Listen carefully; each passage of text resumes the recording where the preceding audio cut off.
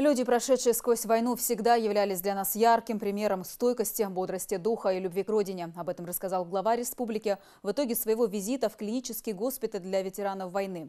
Туда Сергей Аксенов прибыл не только поздравить защитников Отечества с их праздником, но и проверить условия, в которых живут пациенты, и узнать, в какой помощи нуждается учреждение.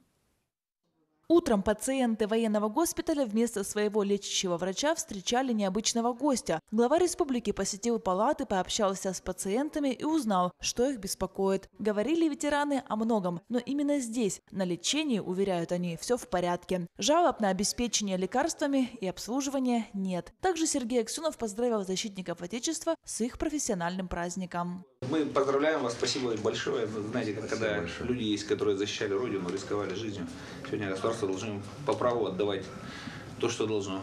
Так что так и происходит. По цели возможности мы хоть и инвалиды, но мы все равно с вами.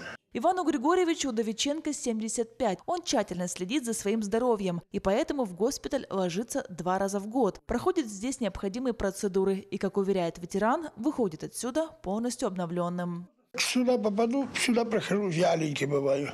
Э, капельницы 3-4, особенно уже 5, я уже оживаю, я уже чувствую себя. Заряд получаю лучше рано. Так что это мне как родной дом. Тут люди те, которые всегда э, подают руку.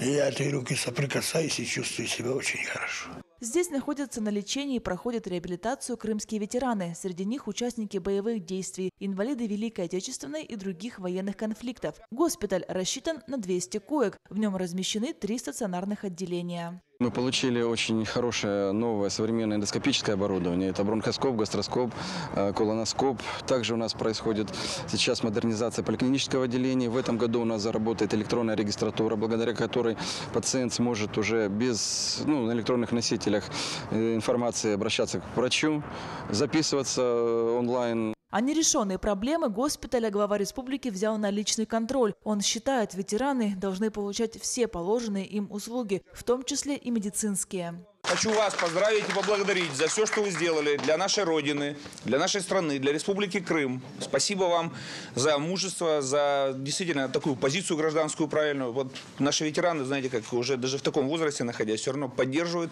помогают и влияют на ситуацию. Поэтому без вас бы тоже многие вещи у нас не получились. Хочу вас поблагодарить за поддержку. Приехали гости не с пустыми руками. Сергей Аксенов вручил руководству госпиталя сертификат на новое медицинское оборудование – два ультрафиолетовых облучателя рециркулятора воздуха. Оно предназначено для обработки и дезинфекции помещений. Особенно пригодится в период подъема порога ОРВИ и ОРЗ. Ольга Савенко, Рустам Файзулин. Время новостей.